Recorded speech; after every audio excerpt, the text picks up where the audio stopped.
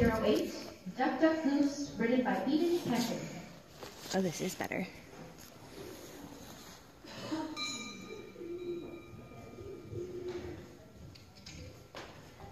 Oh,